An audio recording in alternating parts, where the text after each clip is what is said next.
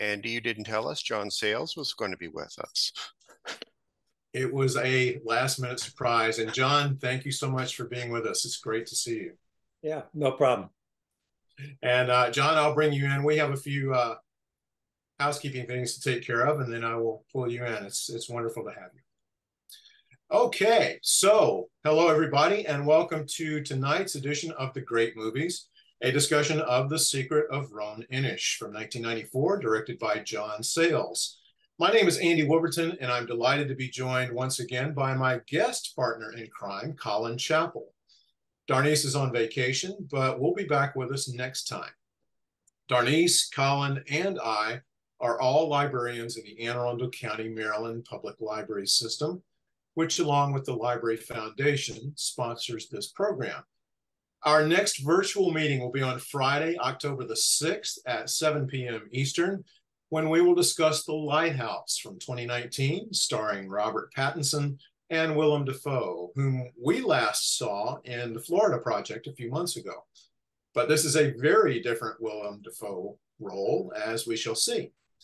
And signups for that begin on September 22nd. Let me also put that in the chat for you so you can bookmark that.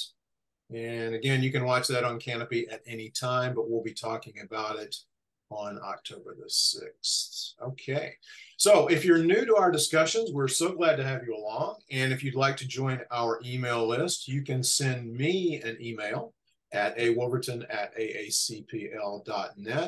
And that way you will get the news on everything that we are up to here. And please know that we want as many of you participating tonight as possible. So if you have a question or a comment, please raise your real hand or your virtual hand or you can use the chat feature and Colin will work you into the conversation. We also ask that you please mute your microphone when you're not speaking. Okay, I think that is it. Do we have any questions? Okay, since there are no questions, um, I didn't have anything formal ready, John, to introduce you. So I'm just going to introduce you as John Sayles, the director of The Secret of Roan Inish and many, many other films. Thank you so much for joining us tonight. Sure. Uh, let me tell you a little bit how this movie came up came about. Uh, Maggie Renzi, my partner and one of the producers on this movie, um, had read a book when she was a kid called "The Secret of Ron Mor Skerry, uh, which was beautifully illustrated by the author, um, and uh, she had been uh, a coast watcher in Scotland during World War II with binoculars looking for German submarines.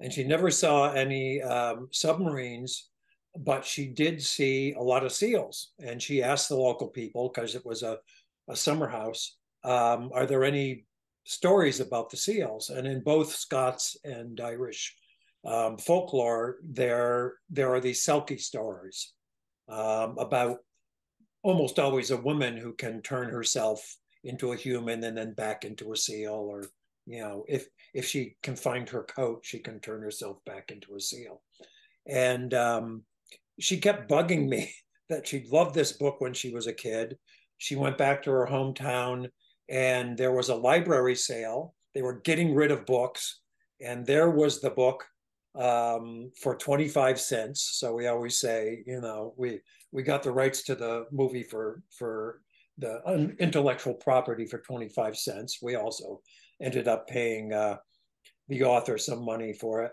Um, and I was so much more familiar at that time with Irish writing and folklore than Scots that I, I it in Ireland. The same seals visit both places.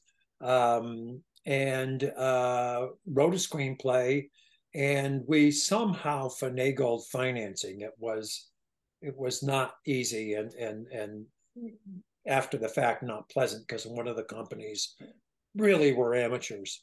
Um, but we got to go to Ireland and and make the movie. We we brought very few people.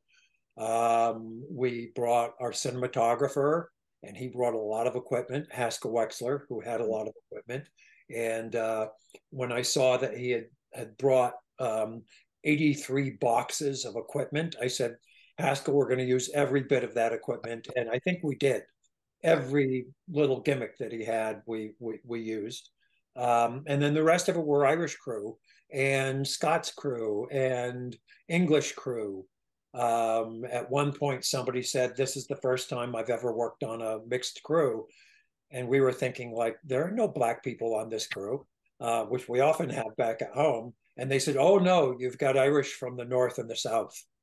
And uh, that was the first time, actually, that people from those two very separate industries at that time had worked together. Um, and they got along so well that they continued to do it, which was a nice thing to have have left behind. Um, we got some not trained but uh, accustomed to human seals mm-hmm. from uh, some people in Skegness on the, the British coast who were saving orphaned seals and uh, feeding them up to the point where they needed to go back into the wild. And then they would stick them in a giant swimming pool and throw fish in there and, and until they learned how to catch fish. Um, and uh, then they would release them. We were getting uh, three of them just before they were released. So they were used to being around people. They had these carrying cages. They they were very comfortable. That was kind of their their safe place. Um, and we asked those people to habituate the seals to do one or two things. One was to eat off of a food off of a shell on the ground. Seals, if they if they drop something in the sand, they don't pick it up.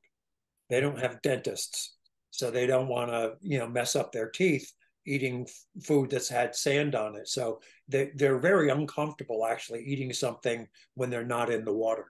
So they did that little bit of training, and then they they had already trained them to to nudge your leg if they wanted food, and so they had that thing where they would flop up to you and and nudge you. Uh, I have to tell you that most of the seal movies that you've seen, if you've seen seal movies, uh, they're actually sea lions. Um, so you know, Andre the seal is is a fake. He's actually a sea lion, which have longer um, you know, arms and can do things like balance on a great big beach ball or something like we were working with phocid seals which kind of flop around. So they're not that mobile when they're on land. Um, and really they were a, a, joy to work with. We just couldn't put them in the open sea because they might wander away and they really didn't know how to survive there. So when we work with them in the sea we had to have giant nets um, and shoot in a place that there were some big rock formations that we could close off with nets so that when the tide went out, we had our seals on land and they were there to work with another day. Wow. Wow. Um, that's just amazing stuff because one of the questions I had was how in the world did you get the seals to I mean they they seem like they were just seal actors because they they reacted exactly the way you would think a human would and under the circumstances with all of the appearances and with Fiona. Uh, mm. it was just amazing. Yeah, they they are uh, supplemented here and there with animatronic seals. Um, there's a couple scenes where the heads bob up, and those are actually things that we called the bobs that were done with, you know, kind of the top of a seal float that you know had some pulleys and rope connected to them so you could just say number three and number three's head would bop up and then go down. Um, but uh, a lot of it's just patience on the part of the um, camera crew. Every saturday uh, we work with just animals. No sound no actors. Occasionally we'd have uh, jenny our little girl in a boat or something and the thing is, a seal can go under for 20 to 25 minutes before, even though it's a mammal, it has to come up for a breath. So sometimes you would get sort of a shot, and then you'd be in the boat with a camera, hoping that it came up on the side that you were pointing at. Um, seals are very curious. So if you want it to look somewhere, uh, you would blat a horn or open an umbrella or have a barking dog and they get bored very quickly. So you have to have a different sound or a different distraction every time if you want them to actually look somewhere. So it it took some some tricky stuff. Um, the toughest shot um, at the end when they chase the the uh, the little boy up from the sea. Um, actually, that was the first time we let them out of their cages and let them see the open ocean, what they thought was the ocean, open ocean, open ocean. They didn't see the net because it was just under the the surface, and they are actually flopping down toward um, the water instead of away from it. And we just told our little boy who just, you know, don't let them catch you. Back up, but don't let them catch you. Um, so it looks like they're chasing him. He's actually just backing up in front of them. And we tilted the camera so it looks like they're going uphill instead of downhill. Hmm. Um, so, you know, every once in a while you had to fudge something, but having real wild seals instead of trained seals has kind of its own magic. Um, but it it took definitely took some kind of the, the patience those people from National Geographic who sit around for a week waiting for one shot. You know, you have to have that kind of patience when you're working with wild animals. Wow, wow, and that's an incredible sequence there at the end. Just it just is so powerful. Well, John, I want to ask you a couple of questions, and then I'm going to open it up to the group. Um, I, I read quite a bit of the the interview book that um, that came out several years ago, and this is a tremendous book. But in the book, you talk a little bit about uh, directors being typecast just the same way as actors are typecast, and that each of your movies that came out, people would say, "Well, this is a real departure for you," and then the next one would come out, and they would say, "This is a real departure for you." And in a way, this film was a real departure for you. But I wanted to ask you about how you made such a balance because so many people have said that, especially uh, your earlier films up to this point, were filled with realism.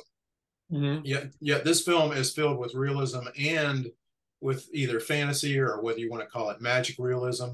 Mm-hmm. How did how did you strike that balance, and especially working with Haskell Wexler? How did you guys work together to strike that balance? Yeah, I, I you know so, some of the the philosophy behind it was to have it be Irish magical realism. And the whole point of magical realism is uh, you're really thinking about what people really do, but some things that really couldn't happen happen. Um, you know, if you think of uh, uh, uh Gabriel Garcia Marquez, who was kind of the writer who started, you know, Latin American uh, magical realism. Um, people might be able to levitate, but um, they're still poor. Right. They still can't avoid their fate. You know, the, the things that happen in real life still happen to them. So it's not a very useful kind of power that they have. Just these these crazy things happen that kind of tell you about just how strange this world can be. Um, so what one of the things that I wanted was uh, these two kids um, Fiona and her cousin, if they want to get Jamie back, they really have to work for it. And we see them working. It, it doesn't, they don't say a magic word or it's not Harry Potter in that, in that way. Um, it's not pure magic, which Harry Potter is and does a very good job of. It's okay, we're going to have to roll our sleeves up and earn this the trust of these animals to give this baby back to us. Um, so that part was was just the kind of philosophy of how we're going to tell the story. Um, with Haskell, the the main note that I gave him was, um, I need you to shoot this so that nature um, has an agenda. Mm-hmm. So it has a consciousness. So not just the seals, but the seagulls and the sky and the weather you know we're going i'm going to edit this together and you're going to shoot it so that it seems like oh wait a minute um, all of nature is conspiring to watch these kids and then decide they've earned this right we're going to give this kid back and in, in fact we're going to throw him into their lap so he can't really come back and we're going to drive him back to the humans where he really belongs yeah. uh, so there's one shot where um, in the in the kind of uh, scene without any dialogue. Uh, that's the flashback to how the baby floated away and and was taken because they didn't want these people to leave the island and they were going to take a hostage. Um, the captain of the, the little ship that's going to take everybody off the island looks up in the sky and it immediately kind of turns into storm weather. And that's basically, I just had said to Haskell, make it look menacing. And it's a it's a ring on the camera. And he stopped down to the point where those nice looking clouds look like they're about to have an awful thunderstorm. Another tremendous scene. Just yeah, just amazing. Well, I, I, have one more question. Then I want to turn it over to other people because I know they have some questions as well. Can you talk a little bit about? Uh, I think one of the big themes in the film is being displaced and losing your identity. Mm-hmm. And after World War II, when when the inhabitants of Roan Inish were taken away, and the children have a strong desire to return back to that island, even though they're children, uh, they seem to be aware that this is where my identity is, and we have to go back there. Can you talk about some of the decisions you made in the script about uh, that theme? Yeah, it, it, it's something that you see in a lot of cultures. Yeah, we we made a movie in West Virginia, and uh, there are hill people from West Virginia and Kentucky, um, and they're in Chicago and they're in Cincinnati, and and boy, they miss home, even though they didn't have a job when they were home, especially when the the coal you know business kind of you know went into the toilet um, you know, there are immigrants that I I know who, you know, they're happy to be here, they're making a living, but they'd rather be home. You know, there, there there's just that thing in you that feels like I'm not my my real self here. And and these kids just had enough of that island life um, that they felt like, well, this is second best what we're doing now.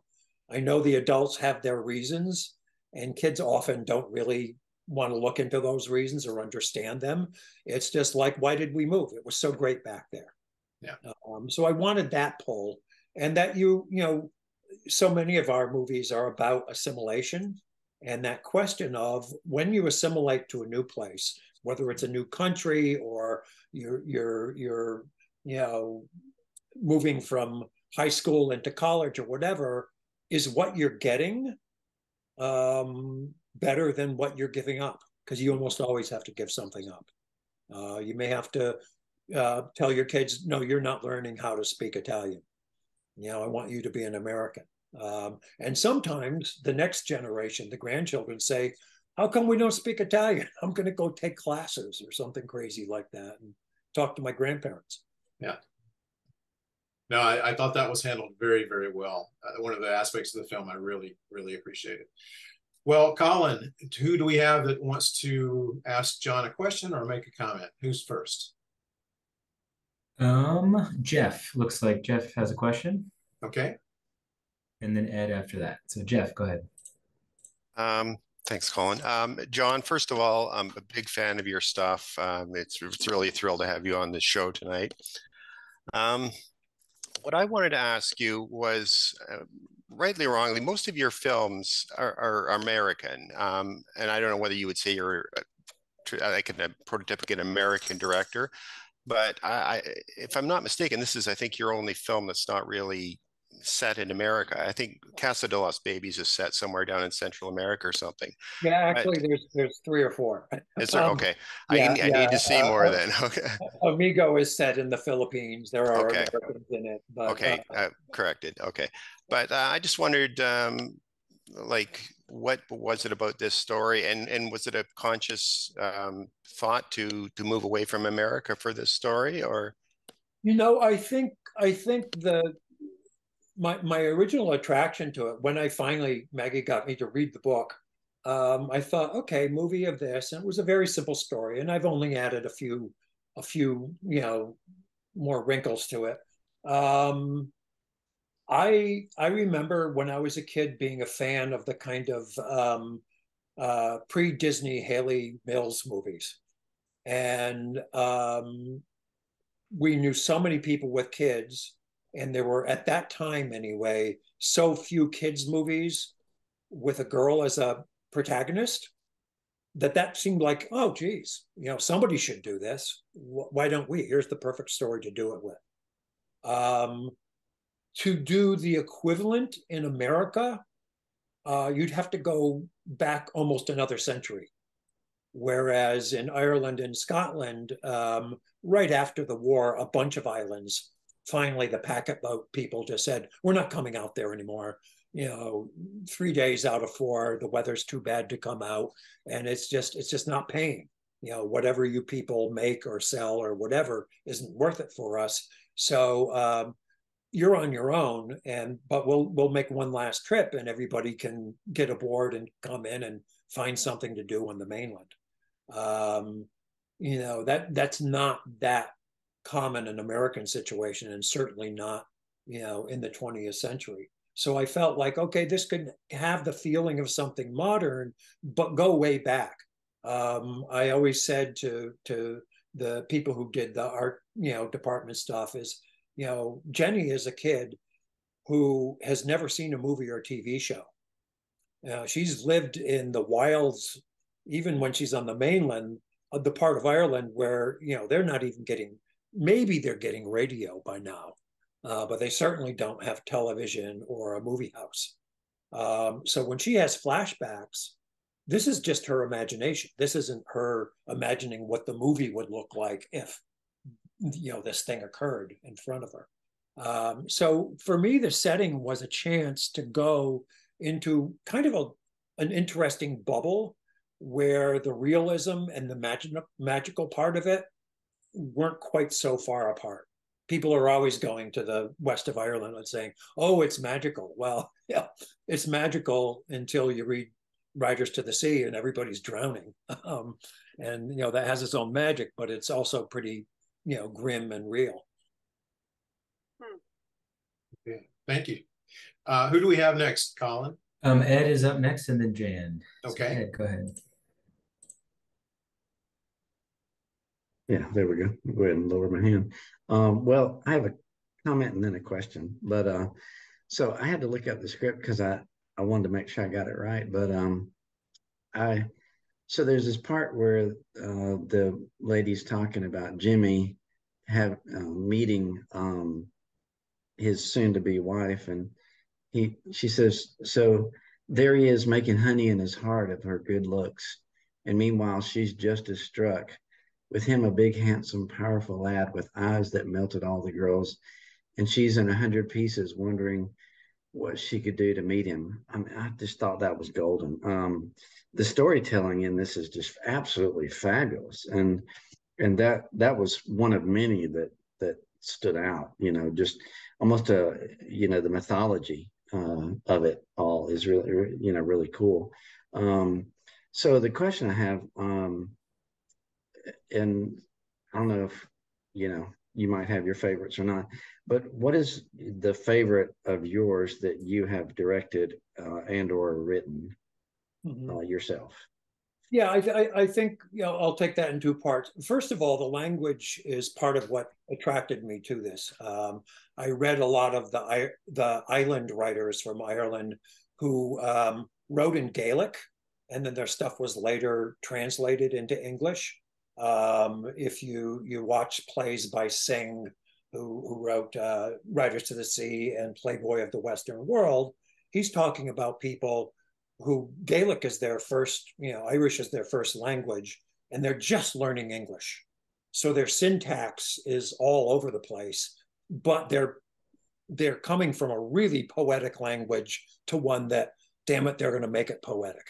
You know, kind of kind of like Rastas do with Jamaican English. Um, and and so I wanted to capture some of that, some of some of those those you know kind of flights of fancy that they do with their their you know, sometimes it's a literal translation from the Gaelic, and sometimes it's them being poetic. Um, and as far as my favorites, it's never the movie itself; it's the it's the situation. This was one one of my favorite ones. We got to go to Ireland. I'd never spent that much time there before. Um, I uh, got to work with all these really interesting people from a different film world. Um, you know, pretty much all of our crew were not American, um, and see how they do things. Uh, I got to work with actors. I had no idea who they were until we got there and started casting. So we didn't have a single actor in mind when we started casting, and we cast in London, and just all these wonderful actors. Some who we didn't cast who have come on, you know, to be you know famous Irish actors, and and others who, um, when our casting people, uh, somebody would come in and they'd be really, really kind of like, whoa, that was really Irish. They would write dog next to their name on their sheet. And I said, well, it wasn't that bad. And they say, oh, no, that, that stands for Darby O'Gill. Um, he's, he's, trying to impress the Yanks by being even more Irish than he is. Um, so that was just fun. Uh, I'd say the other location and shoot that that we had such a good time on was uh, Matewan, which was shot in West Virginia. Uh, once again, we had an awful lot of local people in the cast. Some came and worked on our crew, and just getting getting to know the people there, and having them open up about their own stories, um, some of which got into the movie, um, was just a you know just kind of a a nice way to spend time in a place and really meet the community. Um, and you know and then sometimes it's just a harder movie to make and you don't you don't get to know the local people quite as much uh road movies you you know the last movie i made we had like 60 loc 62 locations in 16 days and so you're you're only in it in one place maybe half a day so you don't really get to know who's there you get to know your own crew fairly well um, but yeah it's it, it's the the the experiences that I that I kind of like or feel like, boy, I survived that one. Thank you. Thanks, Ed. Okay, Colin, we have who's up next? Um, Jan or Jan, I, am probably mispronouncing Willis is up next. That's okay. If I was in Europe, it would be Jan, but it's Jan. I, yeah. Wasn't sure. Go That's ahead. Good to meet you, John. I love this film. I had not seen it in a couple of decades. Watched it a few weeks ago. One of my favorite endings of any film I've ever seen. It all comes together emotionally. I'm a wreck by the end of it in the best way. And part of it is um, Mason Daring's score, which I think is just beautiful. I'm a children's librarian. I've been a librarian my whole life. I've been working with children at a school for the past 12 years. I'm going to be buying this book since it's back in print oh, for, for my kids. I mm-hmm. want my kids to read this. I think of kids nowadays and all the competition we have with video games, but my kids love to read and they love stories. And I think my kids are an audience for this film. Mm-hmm. I really do because they are readers. Yeah. You know what? Uh, the, the reactions we get from kids, um, uh, the few who have read the book love the illustrations. Rosalie K. Fry illustrated herself, and they're beautiful little line drawings. And we use some of them, you know, you'll see them in the movie. Um, the youngest kids, when they either read or are told the story, um, and especially when they say the movie, uh, they say uh, they should have took better care of that baby. you know, like, well, that could happen to me. You know, um, and what we it was an interesting phenomenon when we actually showed it, which was adults liked it, little kids liked it, and teenagers would grudgingly say if they were dragged along, yeah, it was okay you know and later on they might say oh i loved that movie when i was a kid but then they forget that they it was really not their speed when they were 14 years old um, yeah. so but yeah i do think that um that that reading thing um you know one of the one of the things that i do in the movie you might have noticed is uh it's also about oral tradition and storytelling so there are three stories that are flashback stories that are told. Um, you know, one is just the grandfather just telling a story. Uh, one is the grandfather starting a story, and every once in his voice will come through, but you're you're seeing it lived out in the past. Um, and then one of them is just he he cuts off, and then it's without dialogue and it's just you know visuals to to show the baby being stolen away um, and that that partly comes from me associating kids literature with being read to um, you know i read when i was pretty young i kind of figured it out and everything like that but there was nothing as good um, as somebody with a good voice reading to you where you could just kind of sit there and make the pictures in your head mm-hmm. while somebody told you the story. Can I ask one question about casting? Mm-hmm. Um, terrific faces in this movie. Boy, did I love looking at these faces.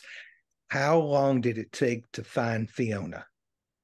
How long was that process? She is that so... was about three weeks. That was our big worry. You know, if you go into a movie, um, you know, uh, where a kid is the lead and you don't have your kid yet, and you've already gone to the country and started to to spend some money, there's a a Portuguese you know phrase that said "God laughs," and for a while we thought, oh boy, it's a, you know we kept talking to Ros Hubbard, who was you know one of our casting people.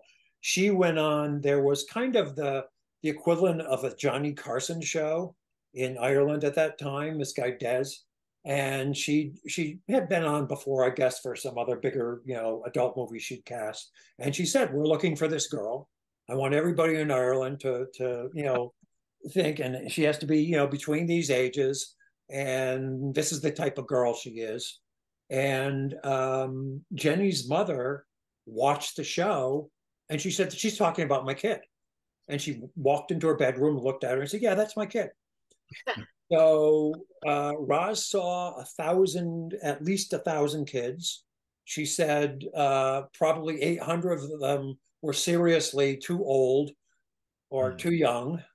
Um, her first question was always, Are you married? You know, and they would laugh to get them, you know. Uh, and you know, she she understood something that I've I've I've I've worked with a lot of kids. Um, reading is one thing, being able to act and be the person is another. So she always added a little bit of play acting to it because sometimes kids are very good actors, but they're not very good readers, and that's true of adults too. um, you know, there there are some very famous actors who are dyslexic who, when they were younger actors and went in for um, uh, a part, would have a friend do lines with them. So really, they've they've memorized the part and they're just pretending to read while they're doing the audition. So she saw about a thousand kids. We had two possibilities. Jenny was shy, and um, I did the scene where she she calls out to the seals, and I just kept moving further and further away from her. We luckily were doing in a fairly big room until I was just about in the hallway. And I kept saying, the seals can't hear you, Jenny. And and just the the the effort of shouting that loud started to bring the emotion out from her as Jenny or as the character who knew. But uh, the nice thing is, um, she was just a wonderful kid. Uh, she learned the name of everybody on the casting crew. Um, everybody, you know, you hear these nightmares about kid actors. Um, everybody looked forward to the days when she was working.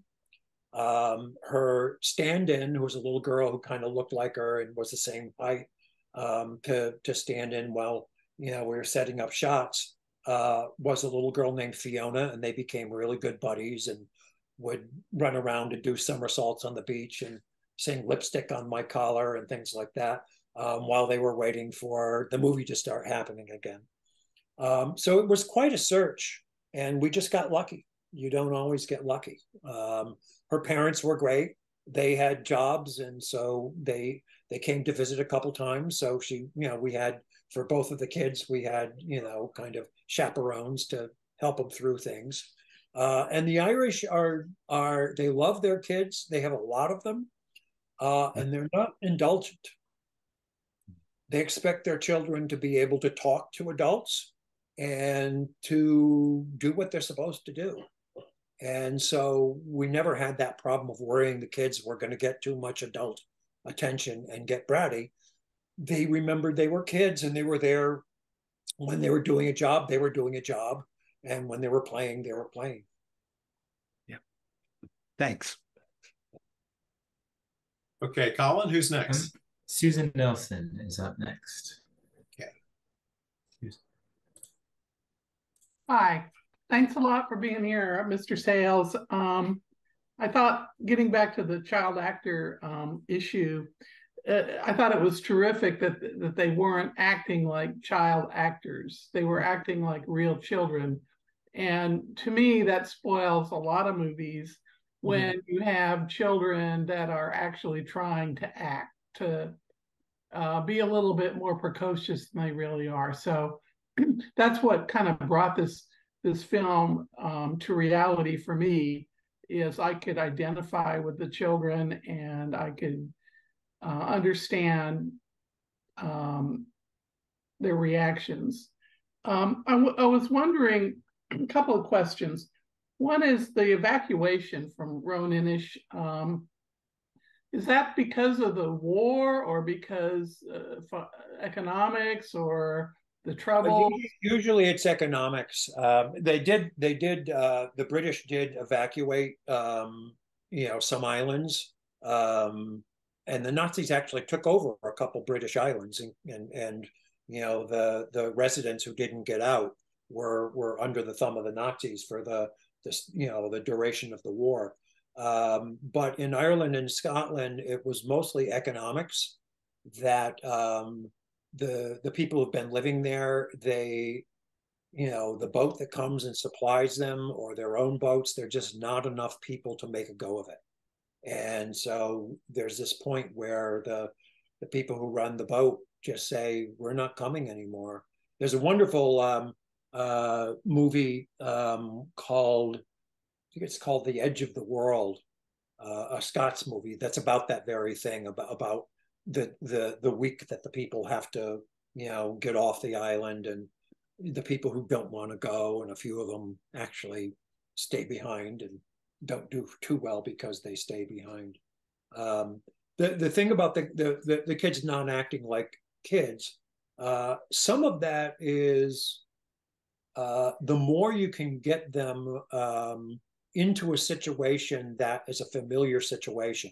So obviously, they're in a different time period than they live in, uh, but kids understand arguments. They understand unfairness and you know protesting when they think something is unfair. Um, they understand having secrets from adults. Um, and then whenever we could, we gave them physical things to do and we said, You're going to have to do this. You're going to have to learn how to tie these knots. You're going to have to lift these things. You're going to have to get up on these ladders. You know, we'd be spotting it so they were safe.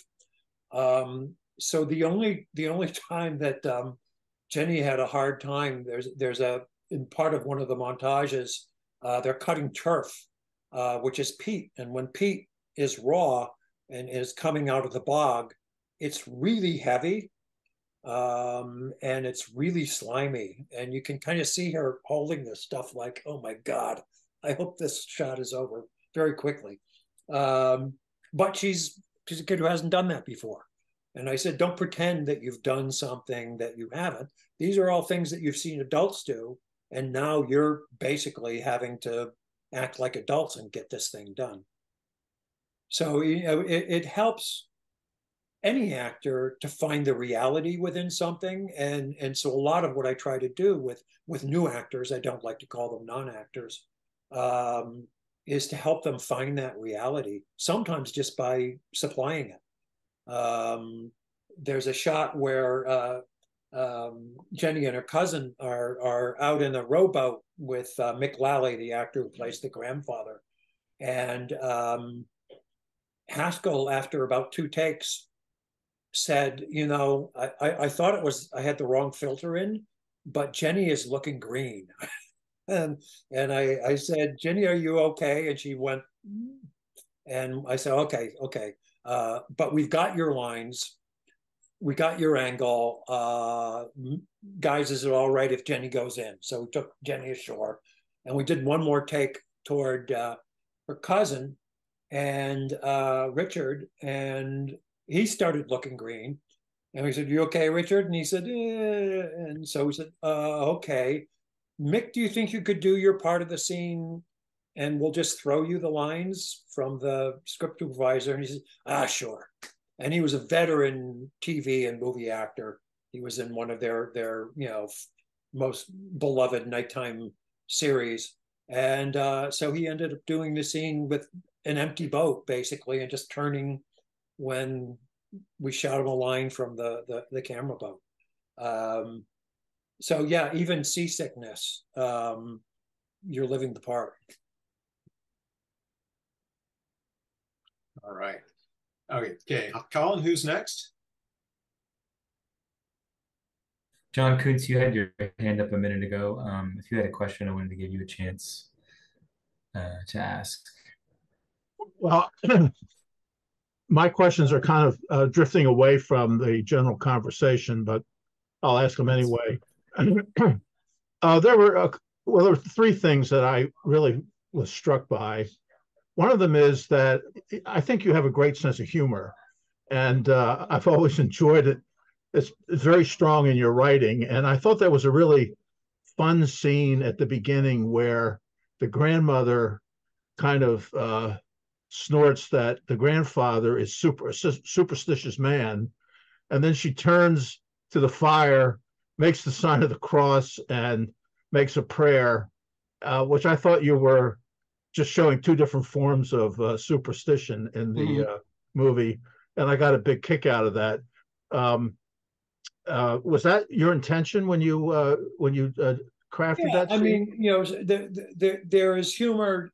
You know, there, there is humor in the world, and so you know, it, it, it it's hard to leave it out of a movie. Um, you know, and that's something that you you find in a lot of countries uh, where religion has has often been syncretic. So the old beliefs and the official religion kind of coexist, sometimes more comfortably or sometimes less comfortably, um, and that um, one person's version of superstition uh, may just not include the things that they believe. Um, which they say, well, there, there, there's science behind that, or, or well, that's that that's true. Um, and and that blessing is something that you'll still see older Irish people do because they they grew up with it. Um, I was raised Catholic, and I still cross myself or feel like I should. You know, not before every foul shot in a basketball game, but you know, it it it gets ingrained. Uh, my other my other you know favorite bit, and this was not in the book, was the her her dark cousin, who's the one who's kind of cracked, and uh, she sees him fishing with his bare hand. And at one point, you know, she says, you know, that they've they've stolen Jamie away. And he said, well, they haven't stolen away. He's just with a, a different part of the family. Um, there are names in Ireland and names in Scotland. Uh, if you're a Coneelly or a Kane, K-A-N-E, um, people might say, oh, that's a Selkie name. Those are the dark people. Um, and so they, you know, there is that lingering bit of of kind of magical realist folklore that there are certain people who, if you look back far enough, there's going to be a seal in the family tree. Uh, there was an, another scene. I I've seen a lot of your movies, not all of them, but a lot of them, and I thought in your early in your career you could be sort of a semi-documentarian. Uh, there was a real strong bent toward realism, I think, in your movies, and th- this is uh, a departure from that. And there was a scene that I thought was just I, I, watched it several times. I just thought it was absolutely lovely, where the um, this this it starts with the sky, and you see the stars in the sky, and then the camera pans back, and I guess it's the pane of the window, and the stars become a little bit um, uh, murky, and then it pans across the room into her uh, lying in bed. And then she gets up again, another pan, and looks out the window and sees the flame burning or uh, a fire burning off in the distance. I just thought that was an extraordinary shot. Was that a very difficult one to to make, or did it just happen? Uh, it, well, this is so far before CGI or any of those other yeah, things. Yeah, and these are all in camera effects. So the stars are basically a great big piece of blue material with holes punched in it and a light behind it. Um, and you you know that it's going to, you know, in black and white it might look okay, but in color it's going to look very very kind of fairy tale. Um, if you've ever seen, oh God, what's the name of the movie? Um, I'll think of it in a minute. Um, but but I felt like in this particular story there was room for that. The same thing with the fire on the island. There's a couple other places where it's it's very clearly okay. We're telling you a story here, or this is the way this girl is imagining things, and and she's just a ten year old kid. Um, but uh, uh, what's the what's the one with Robert Mitchum and he's going love and hate? Um, Night of the Hunter. In Night of the Hunter, Charles Laughton directed it. Yeah, it, you know, which is a wonderful movie. You guys should do it sometimes. And it's it starts with Lillian Gish kind of telling a story, like she's telling a story to a bunch of little kids. And there's some really scary, gritty stuff in it.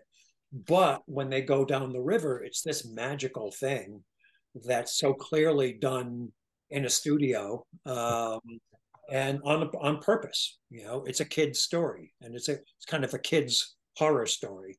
Um, uh, and and occasionally it will break out of that, but then it goes back and to kind of the way the kids would imagine that story. Uh, I just have a couple more. What, what a comment. I I thought the sound was really extraordinary. This sense of wetness. Uh, you, you conveyed that. Your sound man, whoever it was, I noticed there were a bunch of people involved with the sound, but that sound really uh, added a kind of tactile dimension to the to the movie, making you feel like you know you were really in this uh, aquatic uh, world. Yeah, you you you know the the the the soundtrack is as important as anything else. You know, Mason Daring, who did the music, was was mentioned earlier. Uh, one of my favorite um, scenes, as far as the work of the sound department, is um, there's kind of a dream that she has, and you see these crabs moving, and the sound that the sound department gave them because the, the, the crabs didn't make that much noise um, but we added some kind of scuttling noises to it. And then mason had um, his uh, violin players play on the strings that are below the capo and and it makes this very kind of scratchy you know electric kind of noise. Um, it, it, it's part of the storytelling. And you know, when people ask me the difference between you know writing a book because I write novels as well and and and making a movie, one of them is that in a book uh, you can get people to kind of see and feel and smell, but it all has to go through your brain first, and then you interpret those words, and if they're strong enough, you you you can feel these emotions and maybe even smell something. In a movie, there's stuff that goes straight to your gut then go through your head. And the soundtrack is one of those. It, it just sometimes you you don't even notice that oh there is music like you know or all of a sudden oh my god where did the music go you know and you realize that your gut is clenched because somebody's done something to you but it didn't go through your head first and John, the last question John, I have John, is... John, let me interrupt you for just a moment. We'll come back to you, but we got some other people that oh, are okay. waiting. We'll we'll come back around to you. Um, Thanks Bill, for understanding. Bill, yeah, Bill is up next. Go ahead, Bill. Uh, John Sayles, uh, thank you so much for joining us. This is such a treat uh, having you here. Uh, I uh, really enjoyed this film. I, I, I, love the fact that it uh, is a story about storytelling mm-hmm. and the oral, oral tradition, and the fact that um, uh, I really felt like we were placed in 1940s Northwest Ireland, the workaday world of people that lived next to the land and the sea, and how realistic it was. Uh, but at the same time, uh, I felt like the film did such a nice job of melding that feeling of magical realism, that mythology in it, and it seemed like it was just so matter of fact. It's like, well, that's that's just the way it is. Mm-hmm. Uh, so, uh, yeah, wonderful. And um, uh, I want to share the sentiments of a couple of earlier people, um, Ed and Jan, talking about the score and the dialogue. Uh, love the score.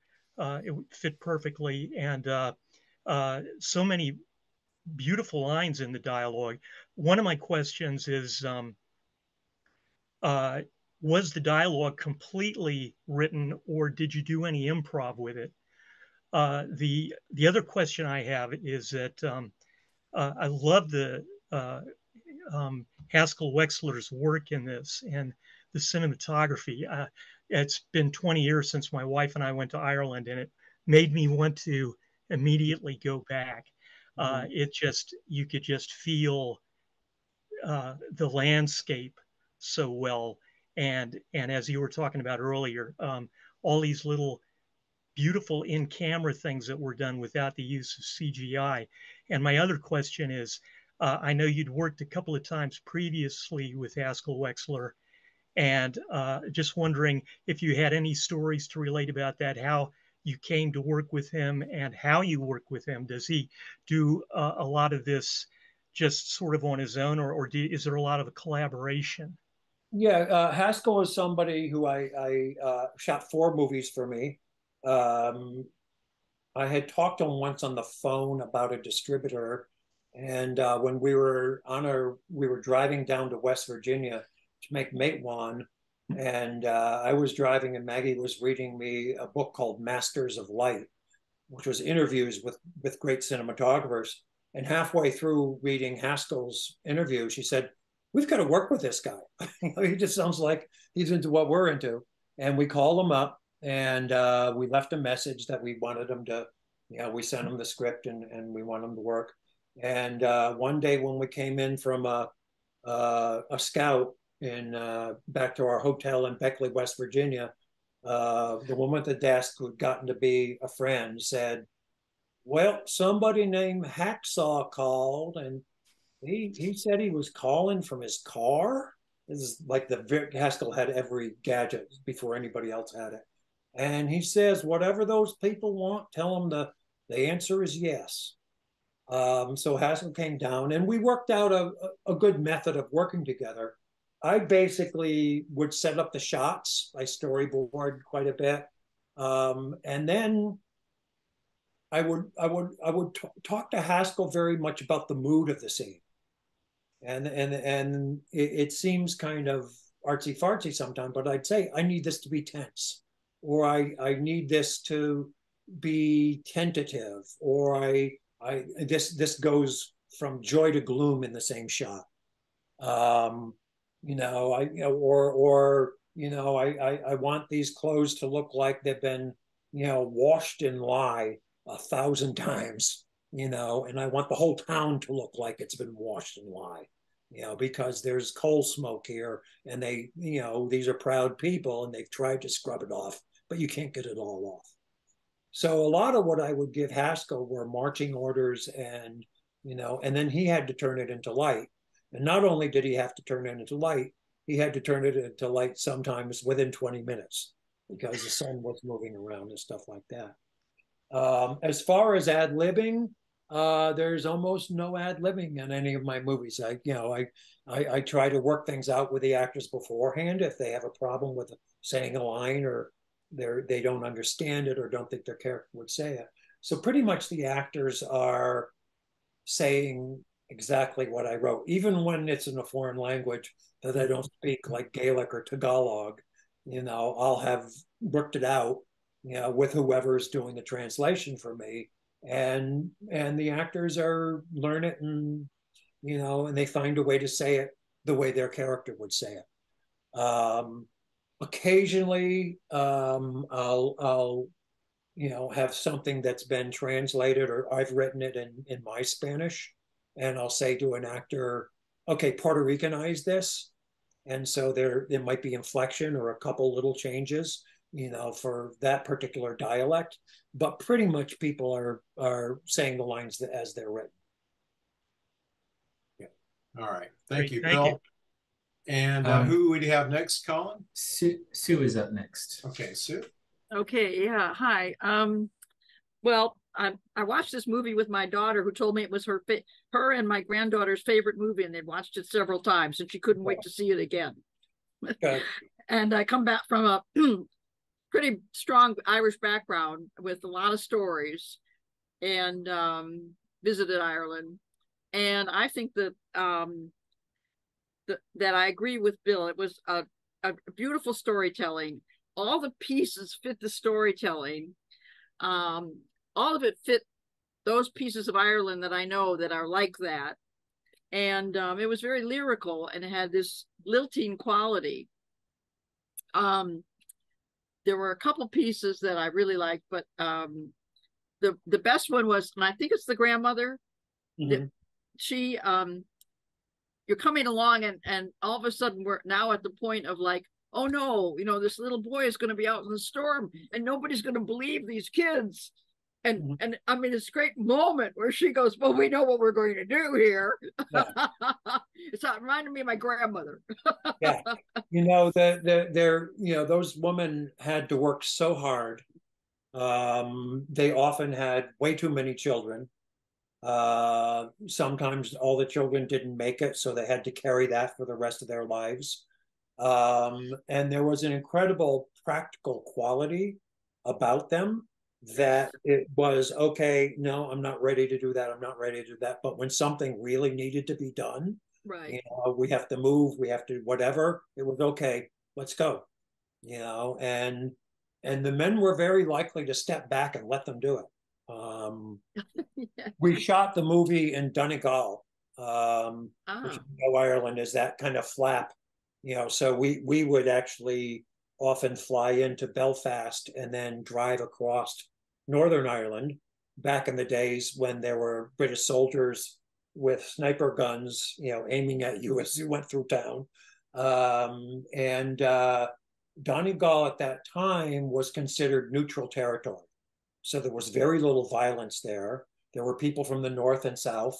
There were a lot of German tourists, um, and we were on on the uh, far west coast near a town called Rosbeg. And one of the nice things about it is we were far enough from the airports that um, we got one airplane a day, and it was a flight from uh, Dublin that was going all the way to Boston. So it was so high up you didn't even hear it. You could see it about the same time every day. So we never lost any shooting time to airplane noise, which you often do. You know, if you're trying to shoot something, you know, that's kind of rural and bucolic, you lose a lot of time to airplane time. Um, there were no hotels in the area. So we, uh, it was an area where in the summer, uh, uh, people often rented out to mostly German tourists um, their their home, homes and moved in with each other to make a little extra money because a fairly poor section of Ireland at that time. This is before the Irish Tiger thing happened. Um, so our crew was scattered all over in these different houses, and our office and the place where we saw our dailies was the pub. Uh, so we had Guinness and popcorn every night and watched what we had shot two days earlier. So it was really a kind of ideal you know setting you know to, to make a movie very away from the madding crowd nice. um, and uh, you know the weather was very changeable so every day i would have on the schedule here's the stormy stormy weather shots here are the sunny shots here are the overcast shots right. we actually had so much sun for two weeks that we had to go inside because it looked too sunny to be ireland on the coast So I do I do want to say I don't think there was a, a single false note throughout the whole thing, and that one capped it really. Yeah. So thanks Thank you, Sue. And it looks like we got Bill and Martha. Is that right, Colin? Next. That's right. That's the uh, last question we have. Okay. Yeah. Hi, and uh, uh, thank you for joining us very much. Um, I was wondering how, um, with the, the power of the dialogueless scene, with the father watching his son float away, how did you resist uh, not having the father return at the end of the movie to kind of um, complete the Bill, Um, you, you cut out a little toward the Yeah, end. I, I think I, understand the question. Okay. Um, yeah, we meet the father, um, and he's, you know, he's probably it, it's probably starting in Glasgow, where a lot of Irish without work went to work in factories. Um, he's at a pub. He's had a few. He's kind, and his wife has died. He's kind of a defeated man. Um, he's not the story. You know, the the the little girl has bonded with his her grandparents. He's never going back to that island. You know, if he goes back, it's just to look at his wife's grave and all these this heartbreak. Um, so you know, finally, I just felt like that would have been intrusive to bring him back at that point when he's been such a small character um, and and and such a down character. Uh, it seemed a little Disney to bring him back, um, you know, and and you know this is this is for you know better or worse, it's not a Disney movie. Yeah, thanks, Bill. Uh, it looks like Colin, And- we have Debbie, and then we're going to get back to John Kuntz, and then we're going to do some recommendations. Oh, and I think we have Debbie. uh, Debbie, Yeah. Debbie, and then another Deb. I think after that. Hi, Okay. Hi, uh, Mr. Sayles. Thank you for being here. This is fantastic. Um, I love the film. Now I, I've visited Ireland once. Now I want to go back so much. Um, the other thing I wanted to ask was, um, I wanted to ask, how long did it take, given the patience you had to exercise with the seals, the children, of course, require some sort of handling. Um, how long did it take simply to film everything? I think we had seven weeks, which is not very long for a Hollywood movie. That's nothing, but we were very well planned. Uh, Haskell Wexler's a great cinematographer. I always talk about he had he had one of the the best um, talent to speed ratios. So if you told him he had 20 minutes and make it look as good as you can, he might say, "Well, it doesn't look great." But then when you looked at it, it looks great to me. Um, the uh, the kids were very very good, so they really didn't cost us any time that that adult actors wouldn't have. Um, and because I had scheduled things so that we we always had something we could shoot in any weather, uh, we never lost any time because of weather. Um, the the storms would come in and they might last an hour and you'd go in the in the set in the huts and you'd wait them out and then you'd come out and it's still overcast. Well we can shoot in overcast. It's ireland. It's, it's overcast a lot so so you know we were very well planned and we had a very very good crew. Um and uh it's not a long long movie because i wanted it for you know a kid's attention span. So you know it's not like you're shooting a two and a half hours worth of material.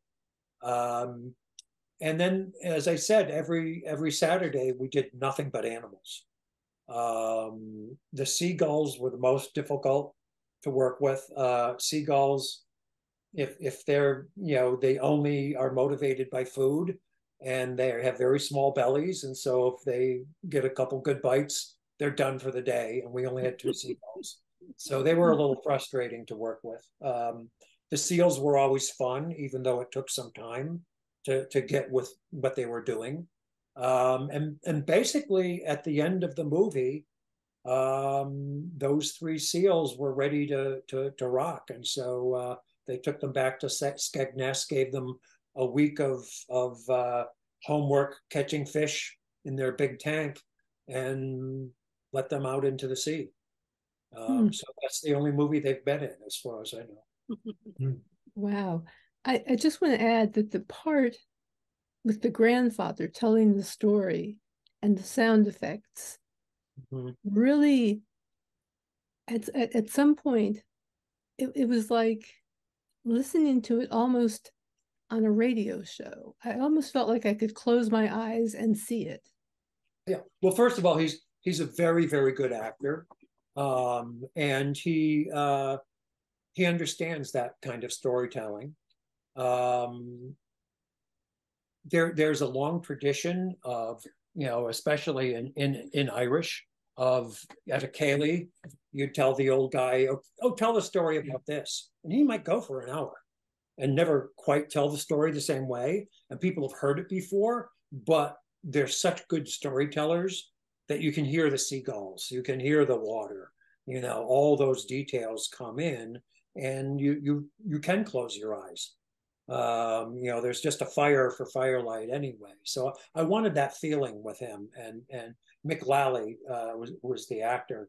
Um, really understood it. You know, he understood that when he had the forum, you know, whatever I was going to do with the cutting later on, uh, he had to tell that story so it carried its own weight. Was it the was the cutting easy or um, it with Haskell Wexler? Some of it was tricky. Some of the steel seal stuff was tricky. We um, we hired a guy who was a nature photographer um, because there weren't too many real seals where we were shooting, and he went um, to a, a, a, little bunch of rocks that at low tide come up near the Isle of Skye in Scotland, and uh, went a Zodiac, and we hired him for three days. And every day, you know, he'd putter around the thing. What the seals would haul themselves out, uh, and every day, as happens, he could get a little closer and use a little wider lens. And I just gave him a shopping list of here's what I want to see the seals doing. So I was often cutting wild seals with our semi-tame seals, with animatronic seals, and um, you know that was fun, but that was the trickiest cutting. The rest of it was pretty easy. Um, you know, it was just good actors and however you set up the camera move or whatever. Um, getting Jamie, the the little boy who who who played him, he was actually um, a redheaded kid, and we dyed his hair black so he looked like one of the SEAL people. Um, and he just he really understood playing games. So we had an Australian friend of ours, and and she was a production assistant, and she would just play with him and be on a walkie-talkie, and she'd say, "I think um, uh, you better get to Jamie now, uh, or he's going to need a nap." you know, and so we'd bring him and do his bit, and we'd always make it a game. And he loved hmm. running away, and he loved being naked, and he loved hiding and all that kind of stuff. And so it, it was kind of natural behavior for him. Uh, the scene where he comes ashore in his little cradle boat, which we still have, um, was the only time he ever touched that uh, cold North Atlantic water.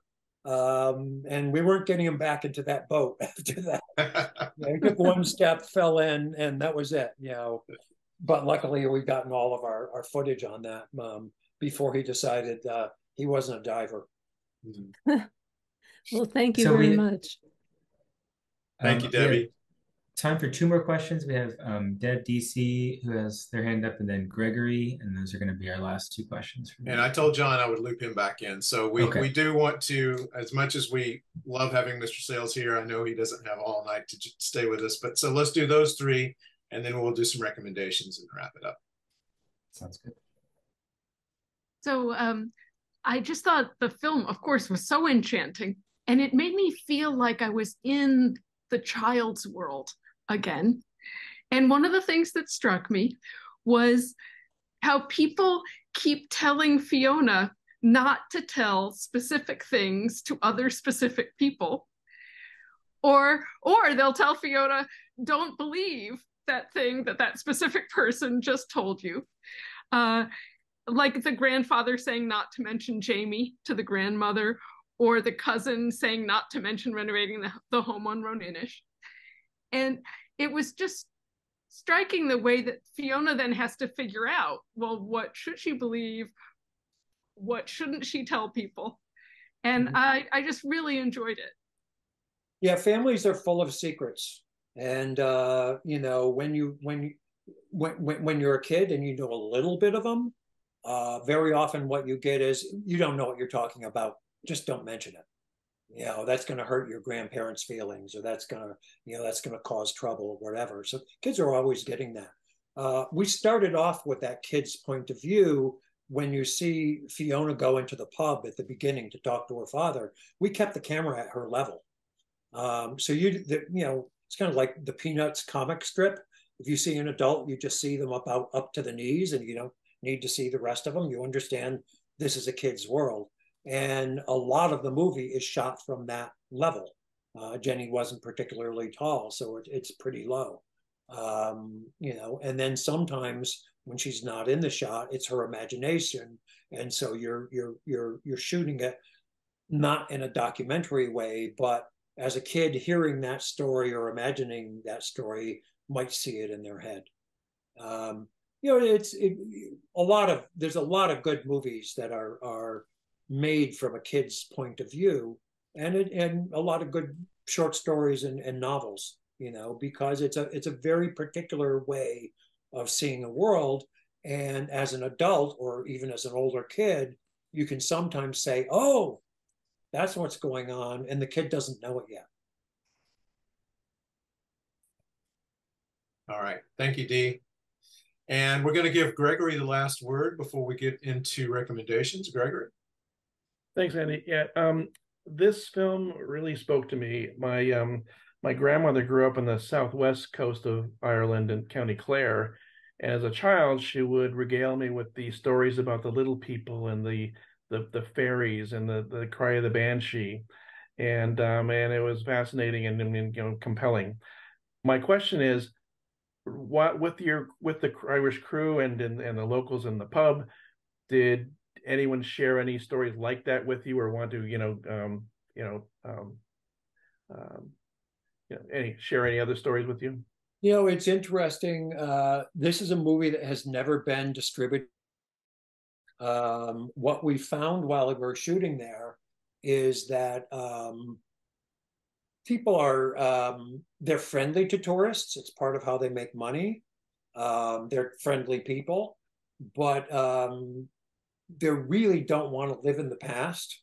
And so only the oldest people will say, "Oh yeah, I used to know a story about that." Yeah.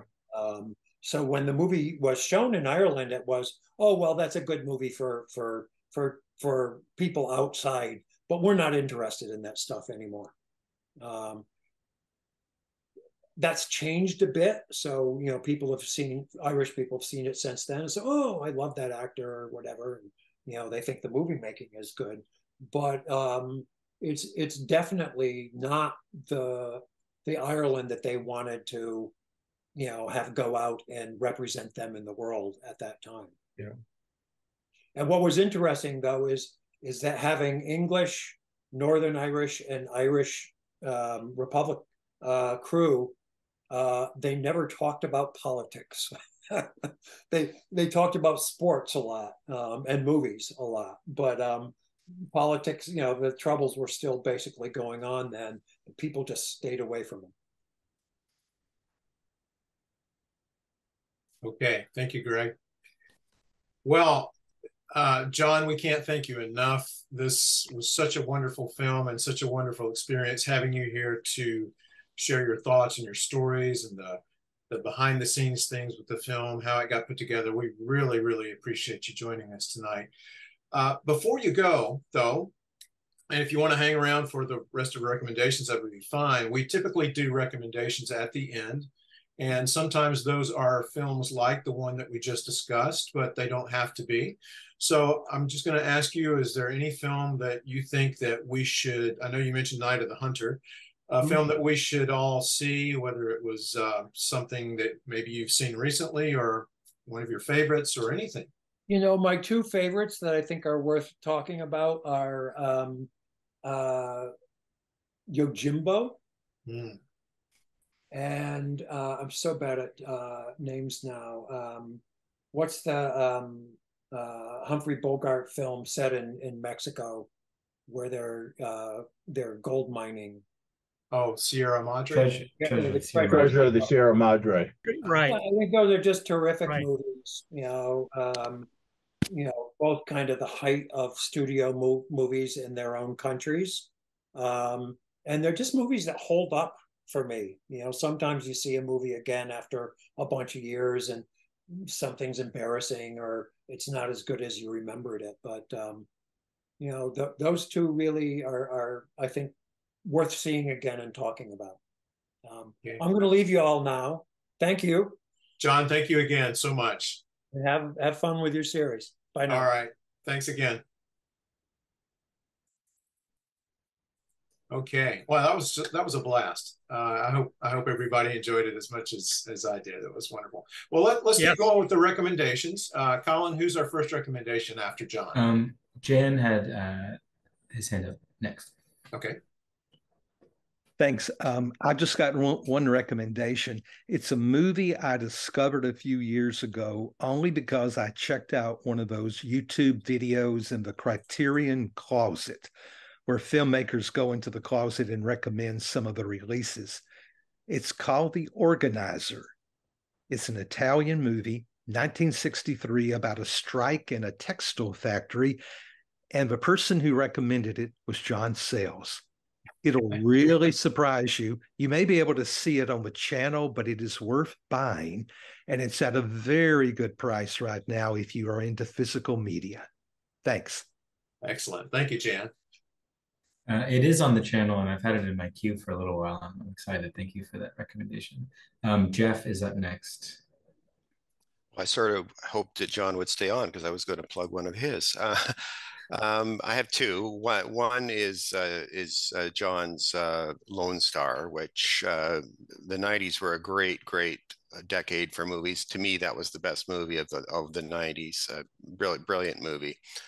Um, the other one is one, uh, a fairly recent one, which I saw, which immediately made me think of of this of Roan Inish, and that was the Banshees of Inisherin, uh, which literally could have almost been filmed on the same island. It's just a same same sort of thing, and and uh, fueled by two great great performances by two great actors in in Colin Farrell and Brendan Gleeson. So it's a little bit a little bit funny, a little bit sad, a little bit horrifying, but just just really a brilliant movie.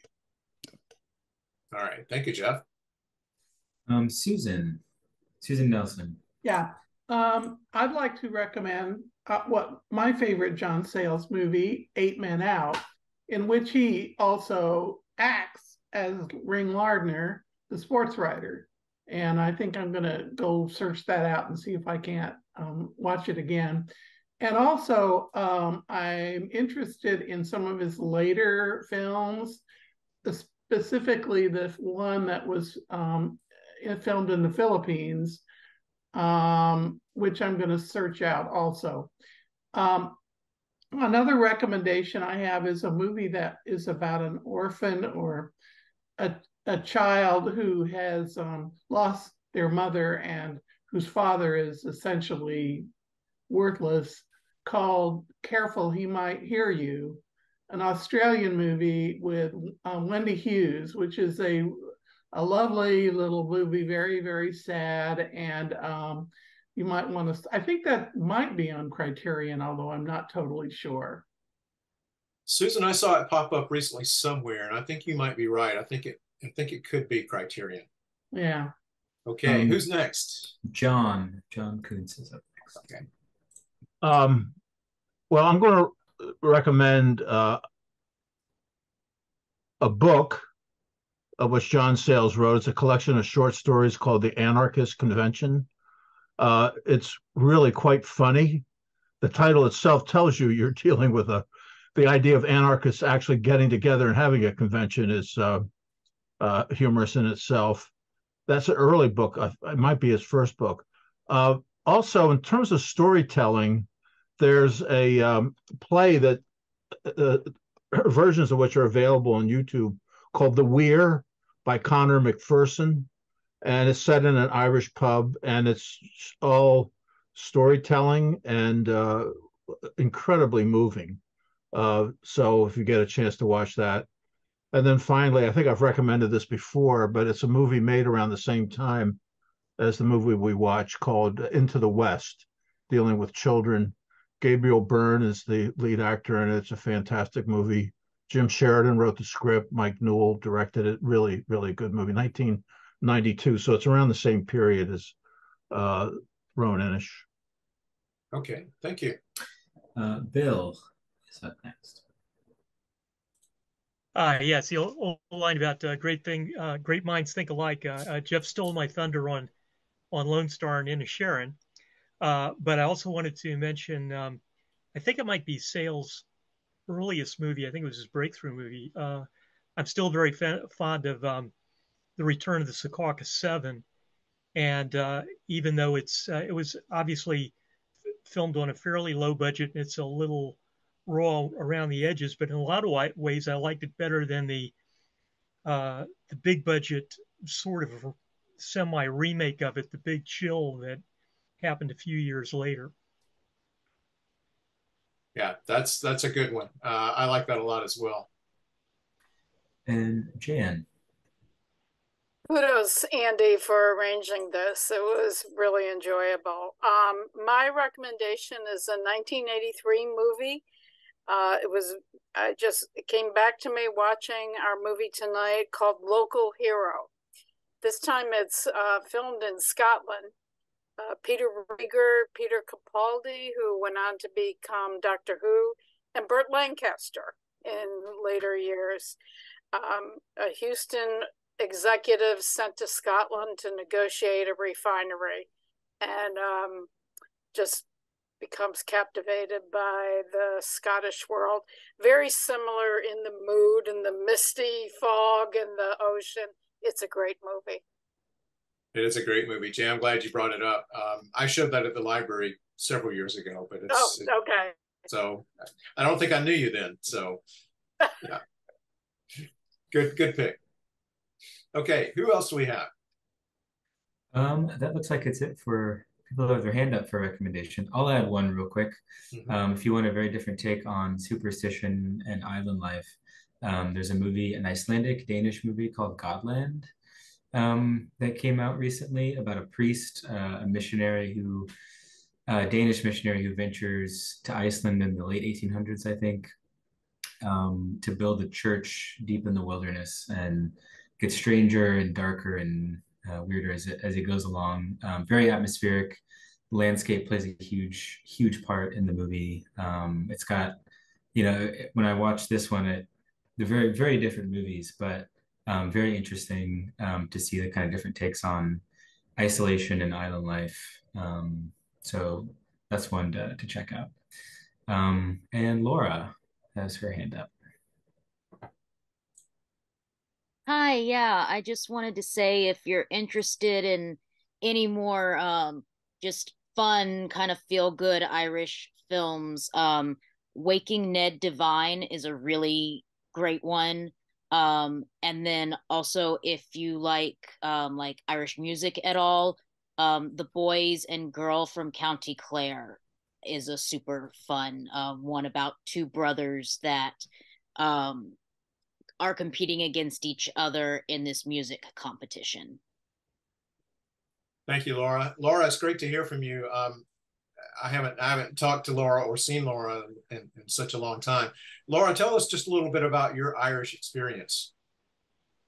Uh, so I was living over there studying at um, Trinity College in Dublin, and I actually took one of our required courses was an Irish film course. So um, I can send you the list, Andy, if you'd like, of all the films that we were required to watch. Um, a lot of them were um a little more on the kind of sad depressing side but there was a couple of comedies that they threw in there um but it was it was a lot of fun. Um i loved living there. I will say that the weather is um can be very dreary especially in the winter um because it like you get like about 4 hours of sunlight. Mm. um but during the summer it's lovely and um one thing that he mentioned was that there was a certain perception that the Irish people didn't want portrayed in the film because everybody's like, oh, it's Ireland, it's just green, and there's leprechauns everywhere. And a lot of um, my classmates who are Irish would say, no, you know, we have tech centers, we are a major player in the world now. We're not just these country people. But yet you also go out into the country and it's just as green as what it looks. And, mm. you know, it's beautiful. Um, but the people are amazingly friendly. Um, I just love it there and I can't wait to go back. Uh, I know, I know you had a great time there. Well, Laura, we'll we'll catch up sometime, but please do send yeah. me that that list. I would love to. I would love to do that. All so you're gonna get the director next time, right, Andy? Right, that, uh, exactly. How this Every works? from now on? every, every director, even the ones that aren't alive anymore, Yeah. we're gonna get them. Scor- Scorsese's next. Scorsese. I'll help you Can't with wait to see one. Hitchcock. okay, yeah, yeah. Hitchcock is gonna be great. He's gonna have a cameo. That's what he's gonna do. All right. Well, thank you all so much for being a part of this tonight, for for watching this movie, and I think I think we all enjoyed the film, and and I hope we all enjoyed John being with us as well. So, everybody have a great September, which we just kicked off today. Take care and watch a lot of great movies. And I'll see you next time. Good night, everybody.